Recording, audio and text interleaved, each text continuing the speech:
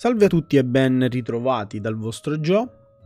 Ci ritroviamo su Genshin Impact dove oggi volevo vedere insieme a voi in anteprima quelle che sono le moveset o comunque i talenti in generale del nuovo personaggio che verrà introdotto a brevissimo all'interno del gioco, ovvero Rosaria, visto che sono state ufficialmente annunciate e rese disponibili, eh, volevo appunto dare un occhio insieme e dare qualche piccola opinione personale in base a quello che andremo a vedere oggi. Parliamo di Rosaria che ovviamente sarà un personaggio 4 stelle, utilizzerà la lancia e il suo elemento sarà il Crio. Eh, abbastanza particolare come scelta, visto che ultimamente stanno uscendo diversi personaggi eh, con per l'appunto la lancia, quindi con l'utilizzo della lancia ed effettivamente questa cosa potrebbe eh, un pochettino mettere in difficoltà alcuni giocatori che magari non possiedono eh, le armi giuste, tra virgolette, per equipaggiare i propri personaggi. Per quanto riguarda Rosaria, come detto prima, sarà un personaggio 4 stelle, possiederà come sempre i classici talenti di attacco normale, elemental skill e burst che andremo a vedere di seguito. Parliamo dell'attacco normale, ovvero Spear of the Church, eh, dove l'attacco normale permetterà di performare, quindi di effettuare fino a 5 rapidi attacchi. Eh, come potete vedere appunto dalla GIF che abbiamo qui rappresentata accanto, eh, le movenze anche di Rosaria per questi 5 attacchi sembrano essere abbastanza fluide. Eh, a mio avviso quello più fluido in questo momento è assolutamente Shao. Shao ha un moveset con la lancia che è praticamente un fiume che scorre, eh, non ci sono praticamente interruzioni o comunque non c'è rallentamento di nessun genere, cosa che purtroppo su Zhongli ho notato spesso e volentieri con quella sua combo un po' particolare dove lancia Uh, per l'appunto dove dà un calcio alla lancia e le consente di girare che stacca un pochettino quella che è la ritmicità dei colpi che riesce a dare con le prime tre hit. Eh, Shao invece è veramente molto fluido, molto bello da utilizzare anche eh, con attacchi normali, anche se io non lo utilizzo con attacchi normali, ma quelle poche volte eh, che l'ho utilizzato con attacchi normali, devo essere sincero, è veramente piacevole da utilizzare. Vedremo Rosaria come si comporta. Dall'animazione non sembra anche lei essere abbastanza meccanica se non probabilmente per questo colpo che dà praticamente a terra. Ecco, praticamente il terzo o quarto colpo che praticamente dà a terra, che forse potrebbe un pochettino rallentare eh, la velocità di esecuzione dei colpi. Ma per il resto penso che effettivamente possa essere un, uh, anche lei un ottimo personaggio, anche se non le darei mai il ruolo di DPS principale. Eh, mi piace tantissimo utilizzarla come supporto elementale, ma più che altro per fare danni eh, elementali e dopo vedremo anche il perché. Eh, ma sinceramente parlando, utilizzarla così con danni fisici, main skill, eh, personalmente non lo consiglierei più di tanto. Per quanto riguarda l'attacco caricato, eh, invece consumerà anche lei, così come tutti i personaggi, un piccolo ammontare di stamina, eh, dove praticamente avrà una sorta di lunge, quindi una sorta di lancio come, eh, come praticamente l'attacco in picchiata, eh, che praticamente effettuerà danno eh, a tutti i nemici che attraverserà.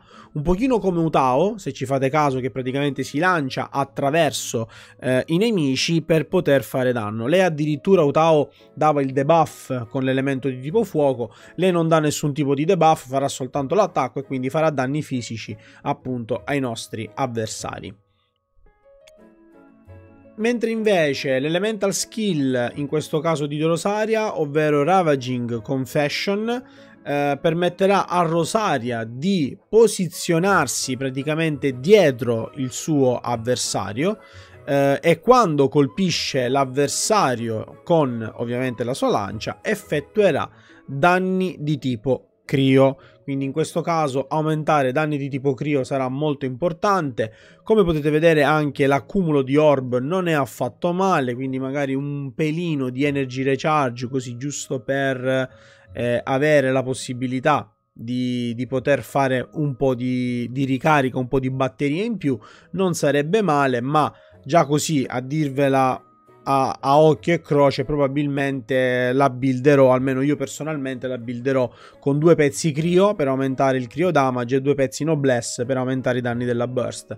A me sinceramente lei interessa principalmente come damage dealer elementale quindi farà molti danni con la burst come vedremo tra poco e addirittura questo attacco così utilizzato per mettermi alle spalle del mio avversario mi permette in un qualche modo anche di poter sfuggire a qualche attacco. L'unica cosa che non mi piace effettivamente di questo attacco è che la skill non potrà essere utilizzata o comunque non permetterà a Rosaria di spostarsi alle spalle dei nemici più grossi. Bisognerà vedere anche quale dimensione viene intesa come nemici grossi, perché per esempio Ruin Guard penso che possa funzionare.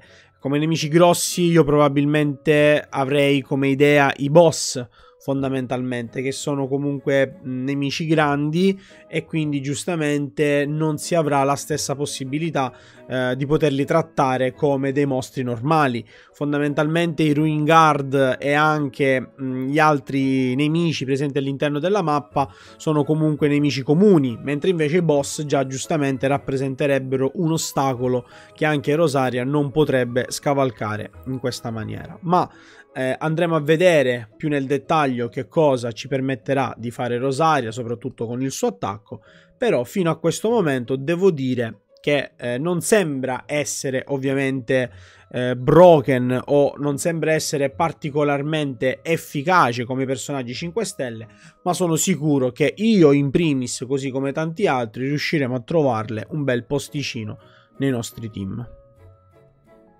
Infine eh, la sua Elemental Burst, quindi il suo attacco finale, ovvero Rights of Termination, eh, ci permette praticamente di eh, effettuare una sorta di preghiera rituale, così come viene definito dalla descrizione, eh, dove praticamente lei eh, scaraventa la sua arma praticamente al centro della mappa, un po' come Chongyun, che praticamente con, suo, con la sua burst andava a mettere quella spada di ghiaccio eh, enorme praticamente al centro del, dell'arena, le fa tecnicamente una cosa molto simile e successivamente quando lancia questa lancia frigida, Frigid Ice Lance, che praticamente colpisce il terreno, eh, effettuerà un danno crio nel momento in cui la lancia cadrà sul terreno e successivamente eh, questa lancia rilascerà una sorta di vento ghiacciato, come potete vedere, della sorta di scariche di vento ghiacciato che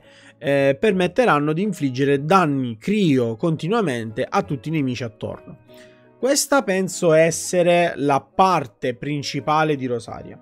Rosaria con la sua burst diventa ottima, eh, sia per quanto riguarda ovviamente il fattore del danno crio, che comunque può aiutare tantissimo i team in melt, ad esempio, ma il fattore che la corrente ghiacciata faccia danni crio in continuazione potrebbe metterla in risalto insieme a un Diluc magari per fare delle combinazioni in melt.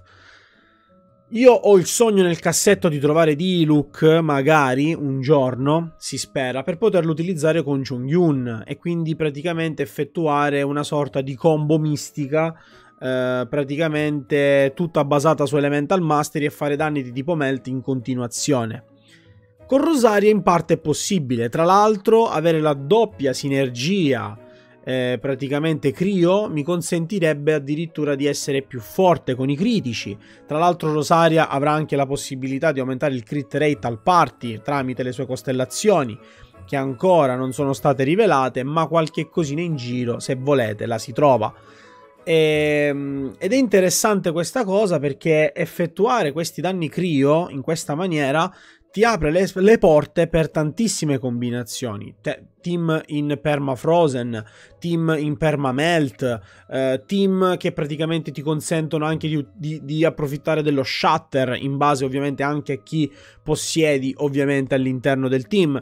Devo dire che un team che già mi viene in mente subito da utilizzare potrebbe essere Chongyun Rosaria di Luke Bennett, che è un team praticamente con doppia risonanza ghiaccio, doppia risonanza fuoco, eh, praticamente sfruttare i danni in permamelt potrebbe essere un qualcosa di veramente divertente e anche estremamente potente. Quindi già le combinazioni, già tutto quello che può essere il, eh, il personaggio di Rosaria, soprattutto caratterizzata da questa burst, il mio cervello praticamente già sta esplodendo, sta volando.